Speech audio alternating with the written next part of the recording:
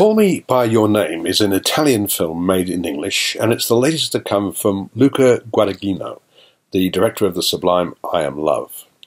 Based on the 2007 novel by Andre Aciman, it takes place in the summer of 1983 in a small town in Lombardy in the north of Italy. The trees are laden with fruit, the midday heat is palpable, and the streets of the old town are almost deserted in the middle of the day. In a cool, gracious villa on the edge of town, archaeologist Professor Perlman, Michael Stuhlbarg, is deeply engaged in his research work, while his French wife, Annella Amira Casar, and their 17 year old son, Elio Timothée Chalamet, while away the lazy days. Every summer, the professor invites a promising doctoral student to assist him in his research, and this summer, that role has fallen to an American, Oliver Armie Hammer, a handsome, charming, easygoing young man who clearly comes from a privileged background. Oliver is given a bedroom next to the room in which Elio sleeps, and they share a bathroom. Elio takes it upon himself to show the visitor around, cycling with him to the town where the American quickly and easily makes friends. Elio has a girlfriend, Marzia Esther Garrel. They've known each other since they were small children, and they're close friends who everyone assumes will become lovers one day. But not yet.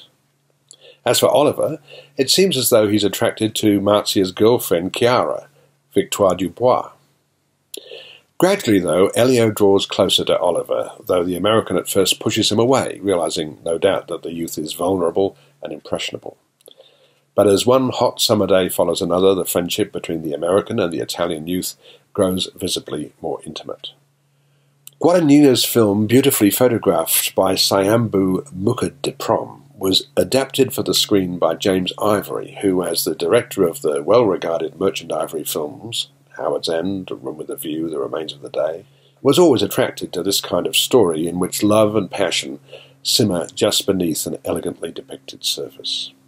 You may need a little patience because Guadagnino is in no hurry to tell the story. He's more interested in assembling a wealth of small details and incidents that very gradually evolve into something deep and profound.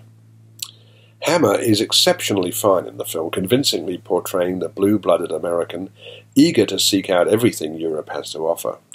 While Chalamet is perfect as the indecisive youth who's drawn to this exotic stranger in ways he himself can't fully comprehend. The film is filled with weighty references. The Perlman family is Jewish, and Jewish identity is just one of the elements thrown into the mix, along with literature, poetry, and music. Elio, who speaks several languages, plays the guitar and the piano with relaxed expertise. Yet the most memorable scenes play outdoors as the friends ride their bicycles or swim or just relax in the hot Italian summer sun. I'm giving Call Me By Your Name four stars.